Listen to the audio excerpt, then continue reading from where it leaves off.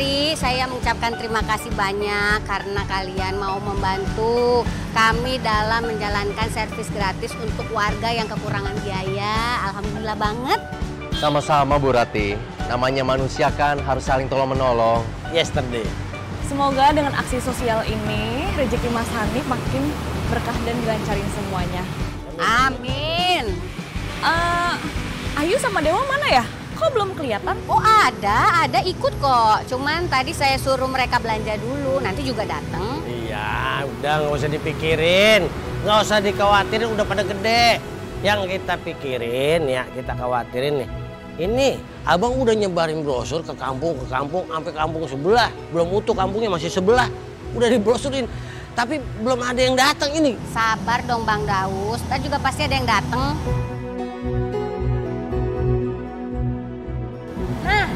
Dia. Oh, pas banget. Mas. Oke. Mau diservis. Ya, Nip, langsung Nip. Ya. Ya silakan, tolong dibantu ya. Mari tolong bantuin aku ya. Oke. Sari tolong kamu eh, colokin kabel listriknya ya. Iya, Mas.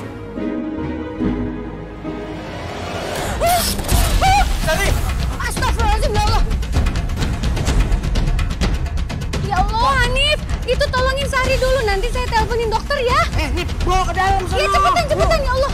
Ayo, Sari. Ayo. Nih, bapaknya gimana? Ih, Pak, Pak, nanti maaf ya, nanti kalau ada apa-apa pokoknya kami akan tanggung jawab ya Pak. Iya, iya. Eh, ya Pak ya Bang. Kita bakal ganti rugi nih, tenang aja. Iya, iya, iya. Maaf ya, aduh kok bisa gini sih kejadiannya Bang?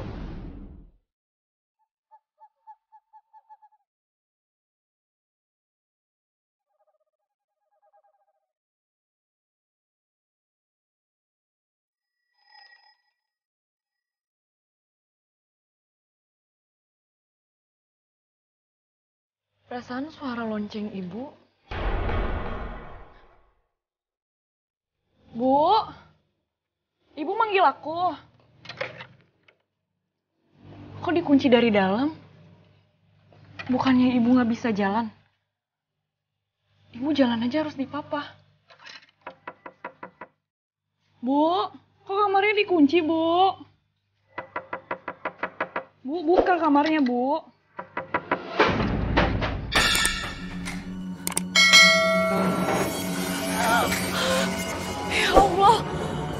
Beneran apa ini? Bu, Bu, Bu, Bu, Ibu, Ibu, Ibu nggak apa-apa kan Bu? Ibu udah bisa bangun, Ibu udah bisa jalan. Alhamdulillah Bu. Ibu kenapa sih Bu? Ayo Bu. Bu, loncengnya jangan kenceng-kenceng, Bu. Ayo, Ibu. Ayo, Ibu. Bu.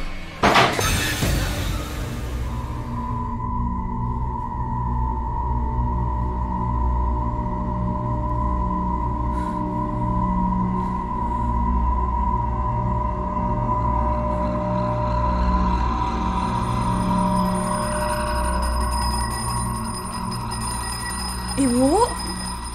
Ibu kok di sini? Bukannya ibu di sana? Bu, ibu kenapa? Bu? Pergi! Pergi! Bu? Ibu baik-baik aja kan, Bu? Pergi!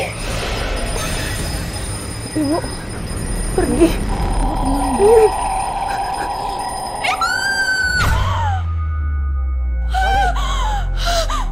Kamu kenapa, sayang? Sari, kenapa? Ada yang sakit? Tadi dokter udah periksa kamu. Dokter bilang nggak ada luka luar. Tapi kalau kamu masih terasa sakit, kita ke rumah sakit ya. Aku mimpi buruk tadi, yuk. Muka ibu serem banget. Aku takut ibu kenapa-napa.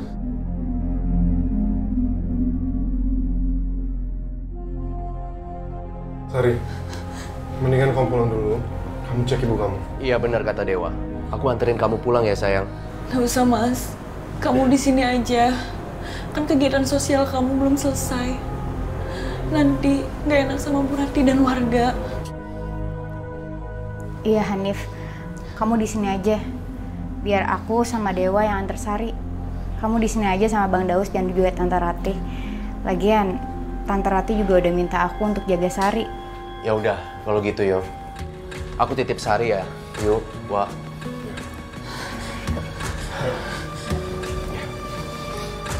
Pelan-pelan ya. Hati. Hati-hati ya.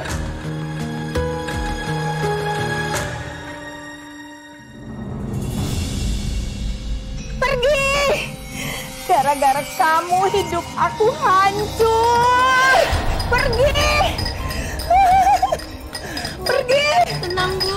Pergi Tenang, Bu. kamu. Ingat Sari Bu. Pergi! Ibu, ibu tenang bu. Ini Sari bu. Ibu tenang ya bu. Ibu tenang. Ibu tenang ya bu.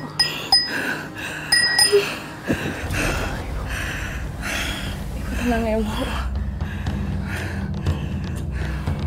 Mbak, saya minta maaf mbak. Tadi saya panik waktu ibu ngamuk. Saya sampai lupa ngabarin Mbak Sari. Nggak apa-apa. Ibu kan emang udah sering kayak gini. Ada yang kamu tuh ngebantu saya banget. Yaudah, kamu istirahat aja ya.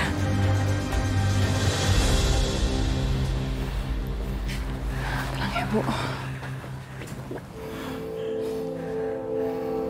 Sari, emang ibu kamu udah kayak gini dari kapan? Sejak aku kecil, Wak. Dulu ibu dirawat sama nenek sampai nenek meninggal. Setelah itu, aku yang rawat ibu. Kata nenek, ibu stres karena ditinggalin bapak waktu mengandung aku. Bapak nggak pernah nengokin kita sama sekali. Sampai aku aja tuh nggak tahu muka bapak seperti apa. Emang kamu nggak ada foto kenang-kenangan bareng ibu dan bapak kamu? Aku nggak tahu ada atau enggak. Nenek juga nggak pernah cerita dan aku juga nggak pernah cari tahu soal bapak. Yang penting bagi aku bisa ngurus ibu aja dulu. Ya, Bu. Kamu harus cari tahu, Sari. Karena saat kamu nanti menikah, bapak kamu akan menjadi wali di pernikahan kamu. Aku benci sama bapak karena kata nenek. Ibu dulu tuh kaya karena semua harta kekayaan ibu tuh dibawa lari sama bapak. Yang tersisa hanyalah kalung liontin ini.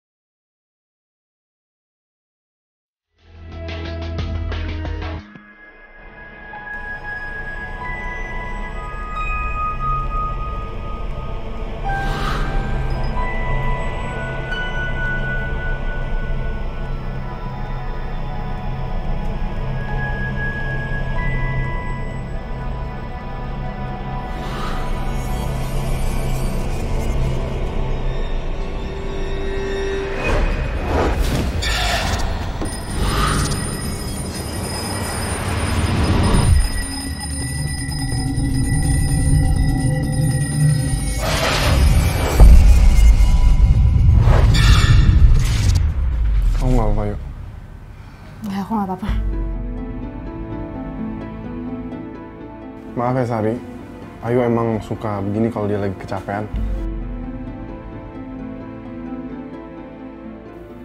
Ada lonceng, terus ada darahnya.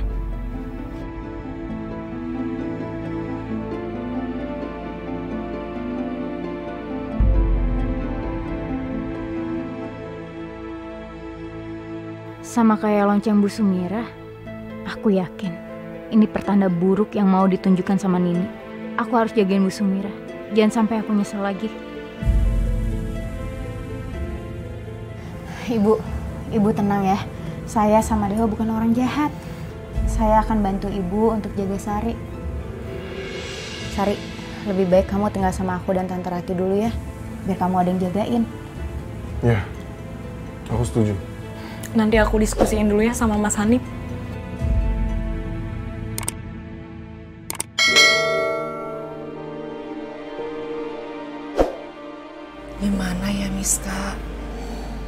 Keadaan Revan kelihatannya tidak membaik.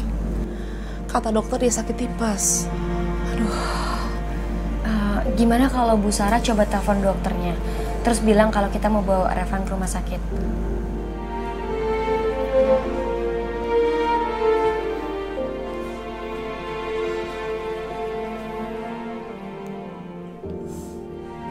Halo dok. Gimana dok ya? Revan kok belum membaik? Apa saya bawa aja ke rumah sakit dok? Oh begitu. Baik. Gimana Bu Sarah? Kata dokter, kita harus tunggu dulu reaksi dari obatnya. Kalau tidak ada perubahan, kita akan bawa Revan itu ke rumah sakit.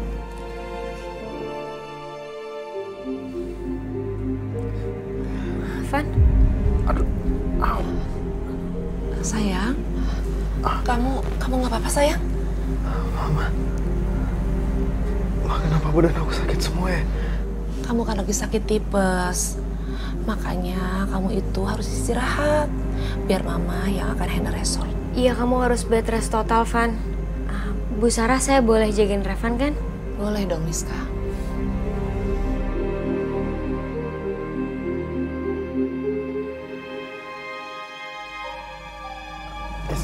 Miss, Miss Kak, nggak apa-apa. Saya bisa jaga diri saya sendiri kok. Biar saya nyelimutin diri saya sendiri. Kamu balik aja kerja nggak apa-apa. Ya udah, mama sama Miska balik kerja ya. Iya, Ma. Kamu istirahat. Ayo Miska.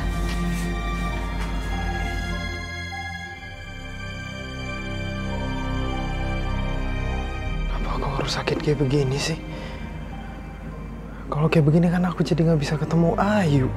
Nggak bisa ketemu Bunda Ratih.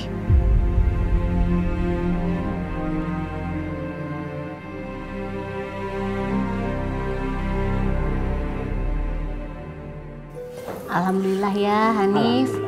Acara servis gratisnya bisa berjalan dengan lancar. Ya meskipun tadi ada sedikit kendala. Dan minta maaf ya karena acaranya sampai malam. Nggak apa-apa Bu Rati. Ini nggak seberapa, hanya tenaga aja. Sedangkan Bu Rati dan Bang Bopak sering bantu sedekah ke warga.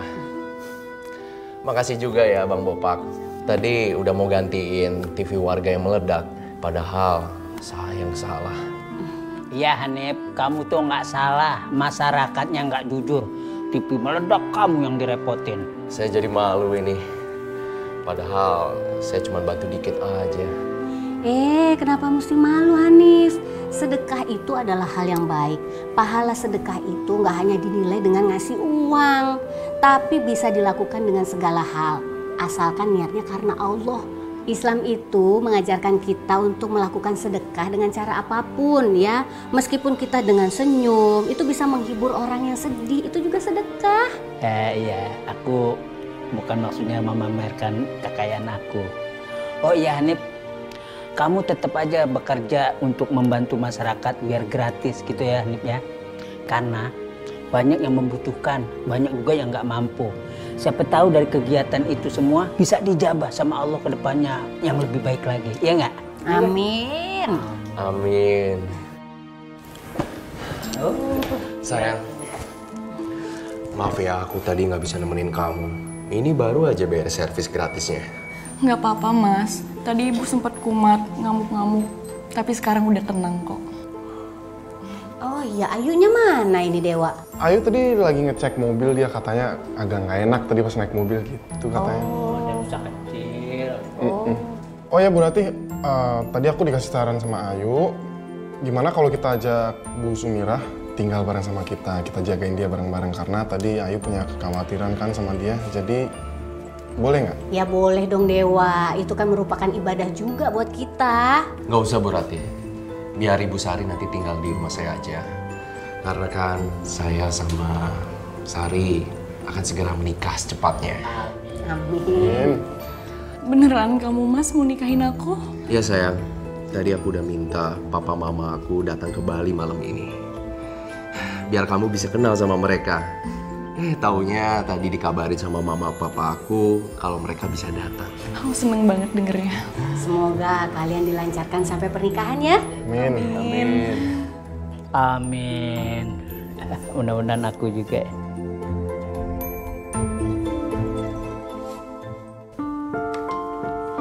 Sini, Ma. Sampai kapan sih kamu mau tinggal di Bali terus? Kenapa kamu nggak tinggal di Jakarta aja, nemanin papa sama mama? Aku lebih betah di sini, Pak, dibanding di Jakarta. Papa nggak usah bahas ini mulu. Ya, Papa kan tahu aku. Kalau aku orangnya udah A, ya A aja. Iya, Mama paham banget. Kamu itu memang anak yang keras kepala. Bagus sih, itu akan eh, bikin kamu jadi mandiri. Tapi permasalahannya adalah masa iya sih Hanif, kamu tuh gak ada niat buat bantuin usaha papa sama mama kamu di Jakarta. Nih, usaha papa sama mama kamu di Jakarta tentang retail barang elektronik itu lumayan loh. Kenapa sih, Nip? Hah? Kamu nggak mau nemenin papa? Masa kamu di sini cuma buka servisan begitu? Ah, nggak penting, Nif. Nggak penting. Mungkin bagi Papa Mama, usaha aku ini nggak penting.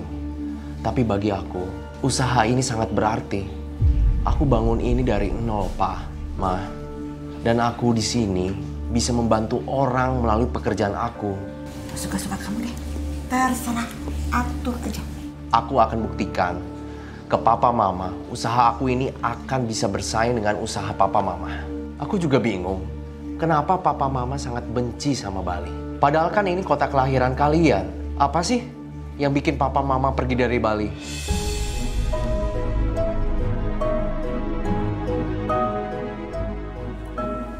Kayaknya kamu jangan mengalihkan pembicaraan deh. Ya, kamu nggak perlu tahu soal itu. Sekarang gini aja, Mama mau tahu kenapa kamu menyuruh Mama dan Papa untuk datang ke Bali secara mendadak. Aku mau ngenalin calon istri aku ke papa mama.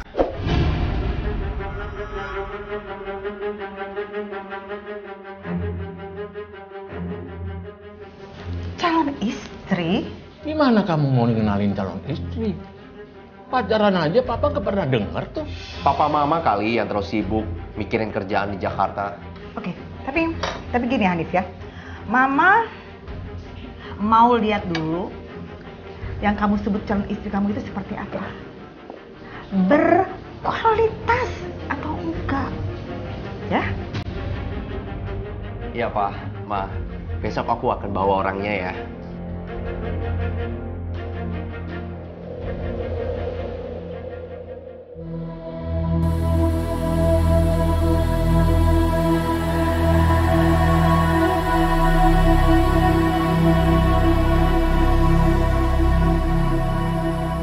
Mas, aku minta maaf ya.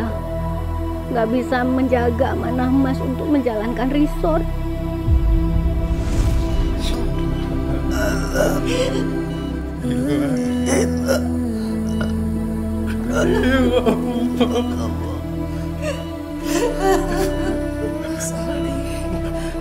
Aduh.